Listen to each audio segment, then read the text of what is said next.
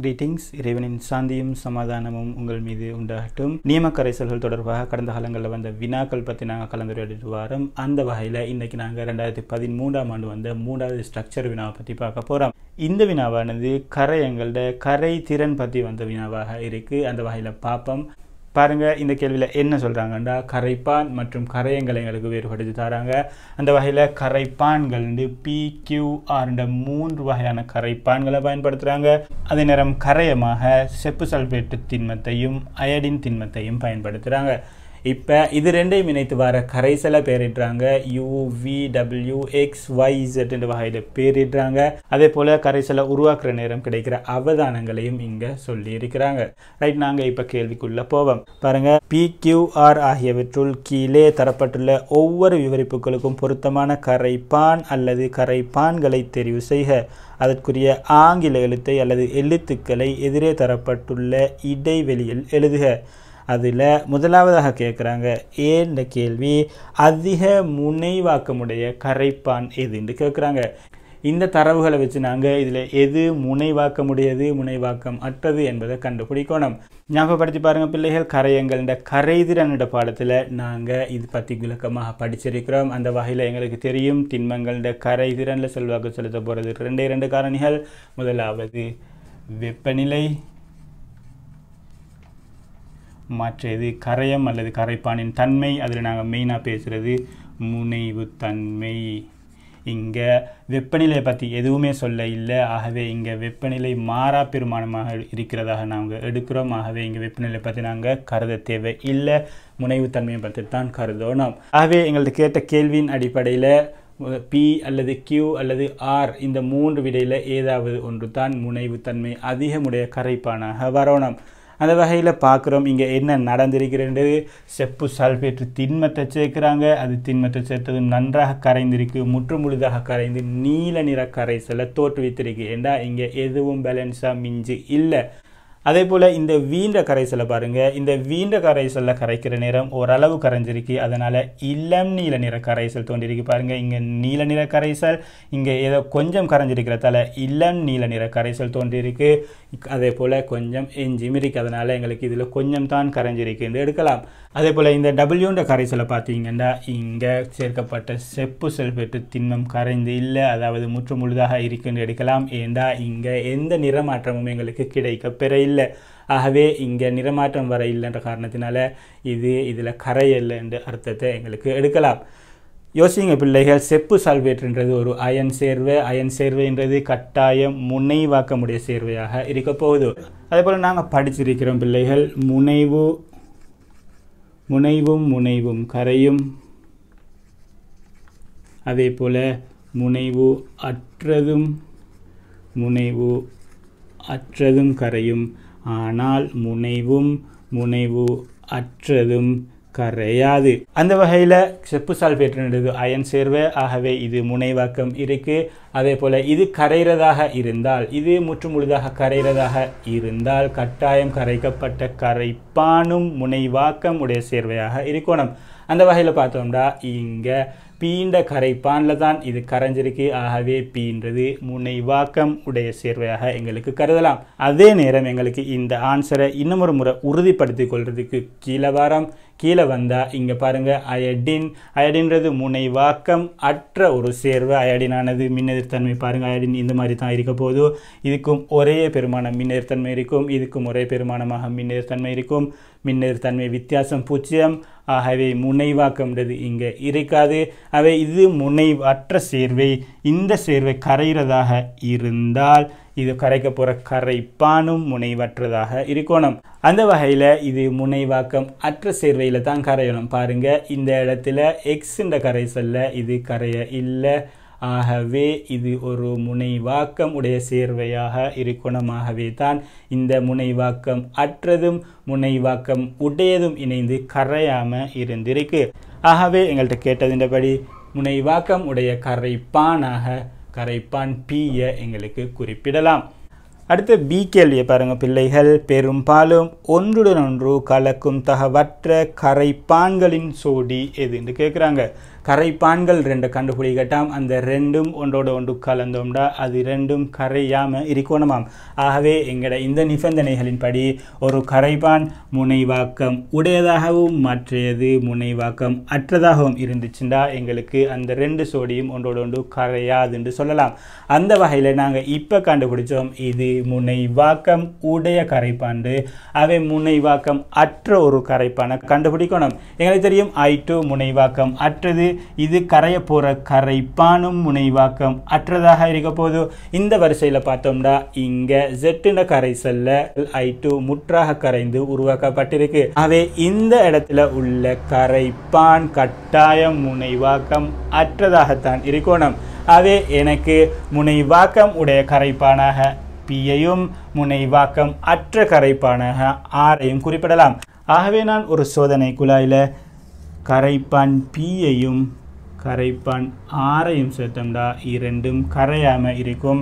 என்றால் இது முனைவு அற்றது.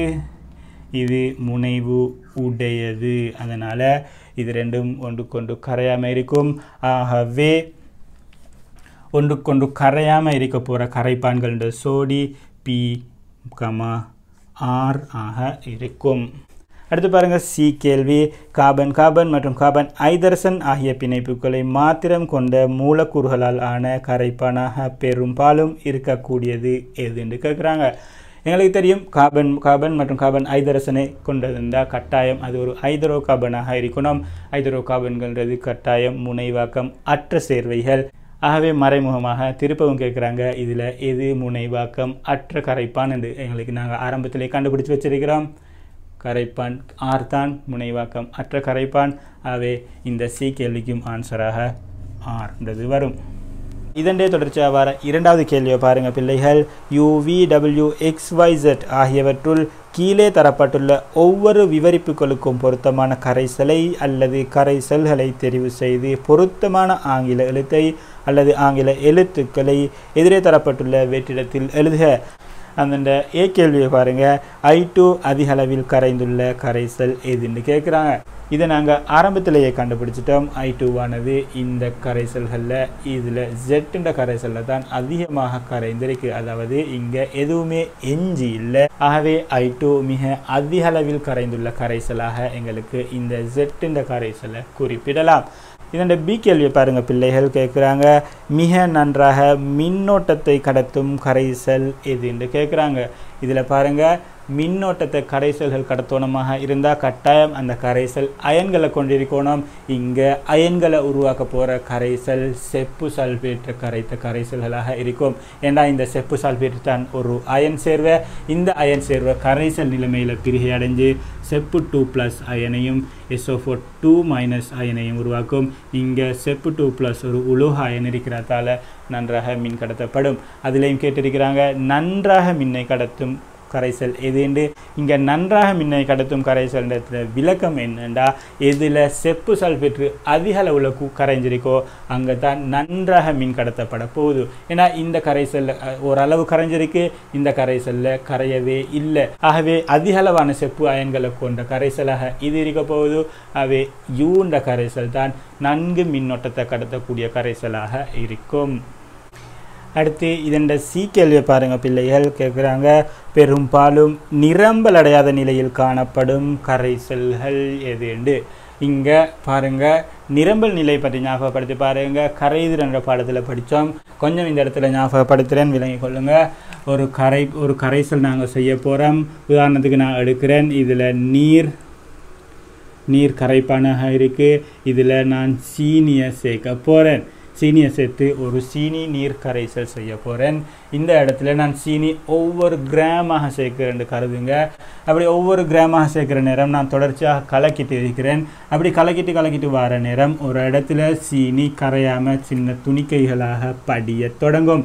இந்த நிலையத்தை நாங்கள் சொல்கிறேன் நிரம்பல் நிலைண்டு இது ஏன் அப்படி படிய தொடங்குதுண்டா? இதுக்கு மேலே இந்த குறித்த வெப்பநிலையில் இந்த குறித்த அளவு நீரில் இந்த சீனி இதுக்கு மேலே கரையாது. மேக்சிமம் கரையக்கூடிய அளவு கரைஞ்சிட்டு இதுக்கு மேலே நாங்கள் எவ்வளோ போட்டிருந்தாலும் இங்கே சீனி துணிக்கைகளாகத்தான் படியும். இந்த மாதிரி நிலைமை தான் இது ஆரம்பிக்கிற இந்த நிலைமையை தான் நாங்கள் நிரம்பல் நிலை என்று சொல்கிறோம் அந்த வகையில் இங்கே இந்த டபிள்யூன்ற கரைசலை உதாரணமாக எடுத்தோம்டா இங்கே பாருங்கள் இங்கே கரைப்பான் இருக்குது அதே போல் கரையமும் கரையாமல் எஞ்சி இருக்கு. ஆகவே இது நிரம்பல் அடைஞ்சு இருக்குது இதுக்கு மேலே இது நாங்கள் என்னதான் போட்டாலும் இதுக்கு மேலே இது கரைய போகிறது இல்லை. ஏன்னா இங்கே திண்ம துணிக்கைகள் ஏற்கனவே எஞ்சி இருக்குது அதே போல் இந்த கரைசலையும் பாருங்கள் இங்கேயும் கரைப்பான் இருக்குது அதே போல் கரையமும் எஞ்சி இருக்குது திண்ம துணிக்கைகளாக. மேற்கொண்டு இது கரைய போகிறது இல்லைன்றது தான் அர்த்தம். ஆகவே இதுவும் நிரம்பல் அடைந்த நிலைமையில் இருக்குது ஆனால் இந்த கரைசலை பார்த்தீங்கன்னா இங்கே துணிக்கைகள் எதுவுமே மீய இல்லை திண்ம துணிக்கைகள் எதுவுமே இங்கே இல்லை. ஆகவே போட்ட எல்லா செப்பு சல்ஃபேற்று திண்மங்களும் இங்கே கரைந்திருக்கு. ஆகவே நாங்கள் மேற்கொண்டு செப்பு சல்ஃபேற்று திண்மத்தை சேர்த்தண்டாலும் இங்கே இன்னும் கரைகிறதுக்கான வாய்ப்புகள் இருக்குது ஆகவே இன்னும் இந்த கரைசல் நிரம்பல் அடைந்து இல்லை. அதே போல் இங்கே அயடின் திண்மத்தை சேர்த்து செய்த கரைசலை கவனிப்போம். பாருங்கள் இங்கேயும் கரைப்பான் இருக்கு. அதே போல் கரைக்கப்பட்ட கரையமும் திண்ம துணிக்கைகளாக எஞ்சிருக்கு. ஆகவே இது நிரம்பல் அடைஞ்சிருக்கு. இது அதே போல தான் இந்த வரை வை கரைசலையும் பாருங்க. வயலையும் திண்ம துணிக்கைகள் இருக்கு. ஆகவே இது கரைசல் நிரம்பல் அடைஞ்சிருக்கு. இங்கே ஜெட்டை பாருங்கள் அயடின் முற்று முழுதாக இங்கே கரைஞ்சிருக்கு ஆகவே மேற்கொண்டு நாங்கள் இன்னும் சிறிதளவு சேர்த்தாலும் இந்த அயடினானது கரையிறதுக்கான வாய்ப்புகள் இருக்குது ஏண்டா இங்கே இன்னும் திண்ம துணிக்கைகள் படிய தொடங்க இல்லை. ஆகவே நிரம்பல் அடையாத கரைசல்களாக யூ மற்றும் ஜெட் என்ற கரைசல்களை குறிப்பிடலாம்.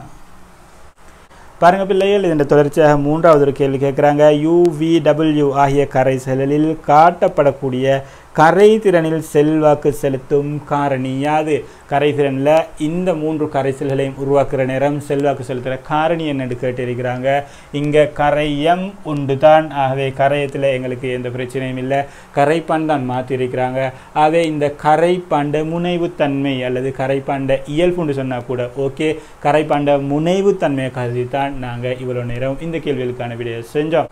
ஆகவே இதுக்கு நீங்கள் கரைப்பாண்ட முனைவுத்தன்மைன்ற ஆன்சரை கொடுத்தீங்கன்னா ஓகே. அடுத்து பார்க்குறோம் பிள்ளைகள் ரெண்டாயிரத்தி பதினான்காம் ஆண்டு ஏழு பி எஸ்ஏ கேள்வி. கேட்குறாங்க வைத்தியசாலைகளில் சிகிச்சை பெறும் அநேகமான நோயாளிகளுக்கு சேலைன் சிகிச்சை வழங்கப்படுகிறது.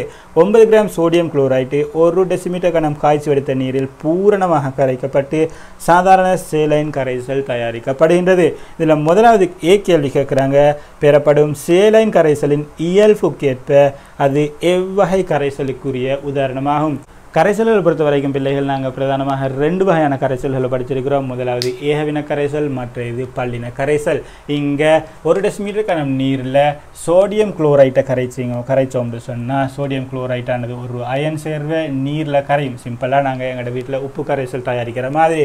சோடியம் குளோரைட்டானது நீரில் நன்கு கரைய போது அப்படி கரைஞ்சு வச்சுருந்தா எங்களுக்கு ஒரு ஏகவினமான கரைசல் கிடைக்கும். ஏண்டா கரைத்த பிறகு எங்களுக்கு எது கரையம் எது கரைப்பான் என்று தெளிவாக இனம் கண்டு கொள்ள முடியாத நிலையில் இருக்கும். ஆகவே இந்த கரைசல் ஒரு ஏகவின கரைசலுக்கான உதாரணமாக இருக்கும்.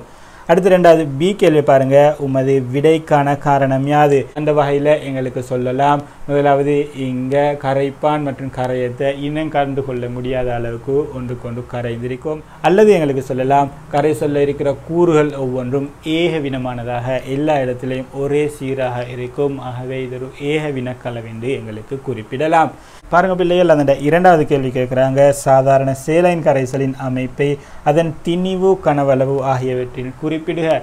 நாங்கள் கலவைகளில் கரைசல்களோட அமைப்பை குறிப்பிட்டதுக்கு பல முறைகள் பார்த்துருக்கிறோம். அதில் இந்த இங்கே கேட்குறாங்க திணிவு கனவளவு விகிதமாக கேட்குறாங்க ஆகவே திணிவு கனவளவு விகிதம் சமன். கரையத்தின் திணிவு கரையத்தின் திணிவு இன் கீழ் கலவையின் மொத்த கனவளவு. எங்களுக்கு தெரியும் கரையத்தின் திணிவு சேர்க்கிறாங்களாம் ஒன்பது கிராம். இங்கே கலவைண்ட மொத்த கனவளவு ஒரு டெசிமீட்டர் கணம் ஆக இருக்குன்னு சொல்கிறாங்க ஆகவே கலவைண்ட திணிவு கனவளவு விகிதமாக ஒன்பது கிராம் டெசிமீட்டர் மைனஸ் த்ரீன்ற ஆன்சர் வரும். இந்த விடையை இங்கே ஓல் ஆன்சர் கொடுத்துருக்காங்க. நான் நினைக்கிறேன் பெரும்பாலும் ஏனைய மீடியம் சிங்கள மீடியம் அல்லது இங்கிலீஷ் மீடியம் பேப்பரில் வந்த தவறுகளால் இருக்கலாம். ஆனால் இதுக்கான ஆன்சர் இது எங்களுக்கு எடுத்துக்கொள்ளலாம் அடுத்து மூன்றாவது கேள்வியை பாருங்கள் ஆய்வு கூடத்தில் நியம கரைசல்களை தயாரிக்கும் போது அக்கரைசல்களின் அமைப்பு செறிவில் குறிப்பிடப்படுகிறது. இதில் ஏ என்ற கேள்வியில் கேட்குறாங்க செறிவு என்னும் பதத்தை வரையறுக்க எனக்கு தெரியும். செறிவிண்ட அலகு செறிவிண்ட அலகு மூல் டிஎம் மைனஸ் த்ரீ அதாவது ஒரு டெசிமீட்டர் கணம் கரைப்பானில் கரைந்துள்ள கரையத்தின் மூழ்களின் எண்ணிக்கையை தான் நாங்கள் செறிவுண்டு சொல்லுவோம் ஒரு டெசிமீட்டர் கணம் கரைப்பானில் கரைந்துள்ள கரையத்தின் மூழ்களின் எண்ணிக்கையை தான் நாங்கள் செறிவுண்டு சொல்லுவோம் அடுத்த கேள்வியை பாருங்கள் பிள்ளைகள் மேற்குறிப்பிடப்பட்ட சேலைன் கரைசலின் செறிவு பூஜ்ஜியம் தசம் ஒன்று ஐந்து மூல்டிய மைனஸ் த்ரீ ஆயின் அதில் அடங்கியுள்ள என்எஸ்சியலின் மூல் அளவு என்னன்னு கேட்குறாங்க எவ்வளோ சிம்பிளான கேள்வி பாருங்கள் ஒரு சேலைன் கரைசல் இருக்காம் அதன் செறிவு பூஜ்ஜியம் தசம் ஒன்று ஐந்து மூல் டிஎம் மைனஸ் த்ரீன்னு சொல்கிறாங்க இதில் ஒரு டெசிமீட்டர் கணத்தில் கரைந்துள்ள மூல்கள் என்ற எண்ணிக்கையை கேட்குறாங்க சிம்பிள் ஒரு டெசிமீட்டர் கணத்தில் கரைந்துள்ள மூல்களின் எண்ணிக்கை. பூஜ்ஜியம் தசம் ஒன்று ஐந்து மூல். உங்களுக்கு இந்த டைமில் இப்படி ஒரு ஐடியா வர இல்லைண்டா பயமில்லாமல் போடுங்க. சி சமன் எண்ணின் கேள்வியில் என் சமன் சிவியை போட்டு சுருக்கி எடுத்தீங்கண்டா ஓகே பட் இதுதான் மிக இலகுவான மெத்தட் அடுத்த கேள்வி பாருங்கள் ஆய்வுக்கூடத்தில் நியம கரைசல்களை தயாரிக்கும் போது கீழே தரப்பட்ட ஒவ்வொரு உபகரணமும் பிரதானமாக என் நோக்கத்திற்காக பயன்படுத்தப்படுகிறது என்பதை குறிப்பிடுக. இலகுவான கேள்வி.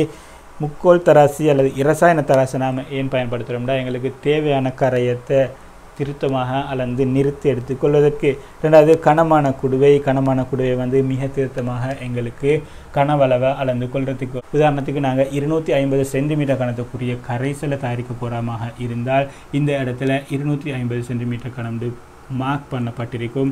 ஆகவே எங்களுக்கு கரைசல் செய்கிற நேரம் கணக்காக இந்த அளவுக்கு நாம் நீரை சேர்த்தோம்டா. அதன் கனவளவு கட்டாயமாக இருநூற்றி ஐம்பது சென்டிமீட்டர் கனமாக இருக்கும்.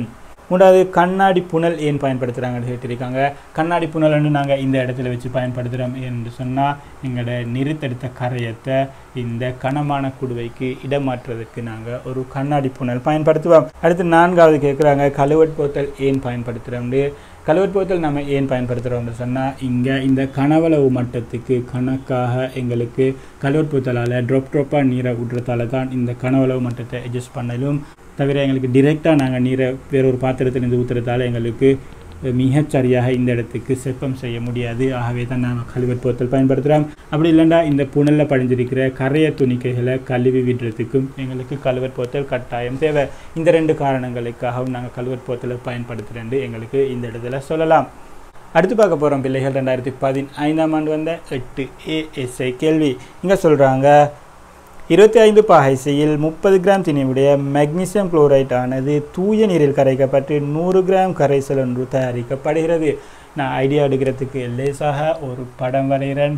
ஒரு கனமான குடுவை.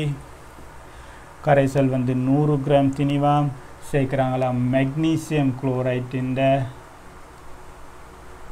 முப்பது கிராம். அதே போல் இங்கே இங்கே கரைப்பானாக இருக்க போகிறது நீர். ரைட் இதுதான் இதுக்கான படம். இப்போ கேட்குறாங்க முதலாவது கேள்வி மெக்னீசியம் குளோரைட் கரைசலை தயாரிப்பதற்கு நீர் தேர்ந்தெடுத்தமைக்கான காரணத்தை குறிப்பிடுக. இந்த மெக்னீசியம் குளோரைட்டை கரைக்கிறதுக்கு ஏன் நீரை தேர்ந்தெடுத்தீங்கன்னு கேட்குறாங்க எங்களுக்கு ஈஸியாக சொல்லலாம். மெக்னீசியம் குளோரைட்டானது ஒரு அயன் சேர்வை. ஆகவே இது முனைவாக்கமுடைய சேர்வையாக இருக்க போகுது. முனைவாக்கமுடைய சேர்வை கரைக்கிறதுக்கு கட்டாயம் முனைவாக்கமுடைய கரைப்பான் தான் எங்களுக்கு தேவை. அந்த வகையில் இங்கே நீரானது முனைவாக்கமுடைய கரைப்பானாக இருக்குது ஆகவே எங்களுக்கு ஆன்சர் கொடுக்கலாம். நீரும் மெக்னீசியம் குளோரைட்டும் முனைவாக்கமுடைய சேர்வைகளாக இருக்கிறதால இவை ஒன்று ஒன்று கரையும். ஆகவே தான் நீரை இங்கே தேர்ந்தெடுத்திருக்கிறோம். அதன் பி கேள்வி கேட்குறாங்க பாருங்கள் பிள்ளைகள். மேலே தயாரிக்கப்பட்ட மெக்னீசியம் குளோரைட்டு கரைசலின் அமைப்பை திணிவுக்கேற்ப நூற்று வீதத்தில் கணிக்க கலவைண்ட அமைப்பு கேட்குறாங்க. ஈஸியான பகுதி திணிவு வீதமாக கேட்குறாங்க. கலவைண்ட திணிவு விகிதம் சமன். கரையத்தின் திணிவு தின் திணிவு இன் கீழ் கலவையின் மொத்த திணிவு. நாங்கள் சேர்த்த கரையத்தின் திணிவு மெக்னீசியம் குளோரைட் முப்பது கிராம் அதே போல் கலவையின் மொத்த திணிவு எங்களுக்கு சொன்னாங்க. நூறு கிராம்டு அதே சேர்க்கிற நூறு கிராம். நூற்று வீதமாக கேட்குறாங்க ஆகவே கட்டாயம் நான் இந்த இடத்துல நூறு போடணும். சுருக்கிறேன். இந்த கிராமும் கிராமும் வெட்டுப்படும். இந்த நூறும் இந்த நூறும் வெட்டுப்படும். ஆகவே சுருக்கினோம்டா. முப்பது சதவீத டபிள்யூ ஓவர் டபிள்யூவாக இருக்கும் இந்த கலவை இந்த அமைப்பு. அடுத்த கேள்வியை பாருங்கள் பிள்ளைகள். மேலே ஒன்றில் தயாரிக்கப்பட்ட கரைசலுக்கு மேலும் முப்பது கிராம் மெக்னீசியம் குளோரைட் சேர்த்து நன்றாக கலக்கி சிறிது நேரத்துக்கு வைக்கும் பொது முகவையின் அடியில் சிறிதளவு மெக்னீசியம் குளோரைட் படிந்தது. இவ்வாறான கரைசலை எவ்விசைட பெயரால் அழைக்கப்படுகிறது. பாருங்க இந்த மெக்னீசியம் குளோரைட்டு கரைசலுக்கு இன்னும் மேலதிகமாக முப்பது கிராம் மெக்னீசியம் குளோரைட்டு கொண்டாந்து சேர்க்குறாங்களாம். அப்படி சேர்த்து கரைத்த பிறகு அவதானித்தா இங்கே கீழே மெக்னீசியம் குளோரைட் துணிக்கைகள் படிஞ்சு இருந்தது அவதானிக்கப்பட்டுச்சாம். அப்படியாக இருந்தால் இது என்ன கரைசல் கேட்குறாங்க. மிகவும் இலகுவான வினா. இந்த கரைசல் நிரம்பி இருக்கு அதனால தான் இந்த இங்கே இந்த துணிக்கைகள் கரையாமல் படிஞ்சிருக்கு ஆகவே இது நாங்கள் நிரம்பல் கரைசல் என்று சொல்லுவோம். அடுத்து பி கேள்வி பாருங்க பிள்ளைகள். மேலே ஏயில் குறிப்பிடப்பட்ட கரைசலுடன் கூடிய முகவை அறுபது பாகைசி வெப்பநிலை வரைக்கும் வெப்பமாக்கப்பட்டது. இதன் போது கிடைக்கக்கூடிய முக்கிய அவதானிப்பு ஒன்றை குறிப்பிடுக. அவதானிப்பு கேட்குறாங்க. எங்களுக்கு தெரியும் திண்மங்களோட கரைதிறனை பொறுத்த வரைக்கும் வெப்பநிலையும் கரையம் அல்லது கரைப்பாண்ட தன்மையும் தங்கி இருக்கும். இங்கே இந்த தன்மையில் எந்த மாற்றத்தையும் செய்யல. வெப்பநிலையை கூட்டுறாங்க. வெப்பநிலையை கூட்டினா கரை திறன் அதிகரிக்கும். அவை இங்கே எங்களுக்கு குறிப்பிடக்கூடிய அவதானிப்பாக இருக்க போகிறது இங்கே படிந்திருந்த மெக்னீசியம் குளோரைட்டு துணிக்கைகள் படிப்படியாக கரைந்து போகும் அல்லது காணாமல் போகும் என்று சொல்லலாம். இதன் தொடர வரக்கூடிய அடுத்து சி கேள்வியை பாருங்க. மேலே பியில் குறிப்பிடப்பட்ட அவதானிப்பிற்கான காரணத்தை விளக்குக. எனக்கு தெரியும் வெப்பநிலையை கூட்டும் போது நீரில் மெக்னீசியம் குளோரைட்டின் கரைதிறன் அதிகரிக்கிறது தான் இது கரைந்து காணாமல் போகிறதுக்கான காரணம். அடுத்து மூன்றாவது கேள்வி பாருங்க. ஒரு மாணவரால் இருபது பாகைசிய வெப்பநிலையில் உள்ள நூறு கிராம் நீர் முகவையில் எடுக்கப்பட்டது. பின்னர் நீர் கொண்ட இம்முகவை எண்பது பாகை சி வெப்பநிலை வரைக்கும் வெப்பமாக்கப்பட்டது. இதன் போது வாய் குமிழிகள் வெளியேறுவது மாணவரால் அவதானிக்கப்பட்டது. மாணவனின் அவதானிப்பிற்குரிய காரணத்தை விளக்குக. ஒரு குளிர் நீர் எடுக்கிறாராம் ஒரு மாணவன். மாணவன் என்ன செய்கிறார்? நூறு கிராம் நீர் எடுக்கிறாராம். இந்த நீர் வந்து இருபது பாகை சீல இருக்குதாம். இருபது பாகை சீல உள்ள நீராக இருக்குதாம்.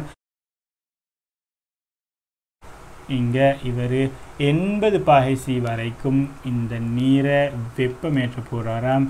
அந்த நேரம் இங்க வாயு குமிழ்கள் வெளியேறத அவதானிச்சாராம். இதற்கான காரணம் என்னன்னு எங்கள்கிட்ட கேட்குறாங்க எங்களுக்கு தெரியும் வாயுக்களை பொறுத்த வரைக்கும் வெப்பநிலை குறைவாக இருக்கும் போது அதன் கரைதிறன் அதிகமாக இருக்கும். ஆகவே குறைந்த வெப்பநிலையில் இருக்கிற இந்த நீரில் வளிமண்டலத்தில் உள்ள வாயுக்கள் கரைந்திருக்கும். ஒட்சிசன் கார்பன் ஈரோட்சைட் போன்ற இந்த வாயுக்கள் இங்கே கரைந்திருக்கும். அவை வெப்பநிலையை நான் படிப்படியாக இங்கே வெப்பத்தை வழங்கி எண்பது பகைசி வரைக்கும் கூற்ற நேரம் வெப்பநிலை அதிகரிக்குது. வாயுக்கள் இந்த கரைதிறன் குறைய போகுது. வெப்பநிலை அதிகரிக்கிற காரணத்தினால ஆகவே கரைந்திருக்கிற வாயுகள் மெல்ல படிப்படியாக குமிழிகளாக வெளியேறும் ஆகவே எங்களுக்கு இதுக்கான காரணமாக சொல்லலாம் வெப்பநிலை அதிகரிக்கும் போது வாயுக்களின் கரை திறன் குறைவதால் நீரில் கரைந்துள்ள வாயுக்கள் படிப்படியாக வெளியேறது தான் இதற்கான காரணமாக இருக்கும் சரிவில்லைகள். இதுவரைக்கும் நாங்கள் ரெண்டாயிரத்தி பதிமூன்றாம் ஆண்டு தொடக்கம் ரெண்டாயிரத்தி பதினைந்தாம் ஆண்டு வரைக்கும் வந்த வினாக்களுக்கான விளக்கங்களை பார்த்தோம். ரெண்டாயிரத்தி பதினாறு முதல் ரெண்டாயிரத்தி பத்தொன்பது வரைக்குமான வினாக்களுக்கான விளக்கங்களை இதன் அடுத்த தொடரில் பார்ப்போம். இந்த வீடியோ பற்றின கருத்துக்களை கட்டாயம் கமெண்ட்டில் சொல்லுங்கள் அதே போல் இந்த வீடியோ பிடிச்சிருந்தா லைக் பண்ணுங்கள் அதே போல் உங்கள் நண்பர்களுக்கும் பார்க்குறதுக்கு ஷேர் பண்ணுங்கள் நீங்கள் இந்த சேனலுக்கு புதுசாக இருந்தால் கட்டாயம் சப்ஸ்கிரைப் பண்ணி பெல் ஐக்கனை கிளிக் பண்ணிக்கொள்ளுங்க அடுத்த வீடியோ அப்லோட் பண்ணுற நேரம் உங்களுக்கு உடனே நோட்டிஃபிகேஷன் வரும். மீண்டும் இன்னும் ஒரு புதிய வீடியோவில் சந்திப்போம்.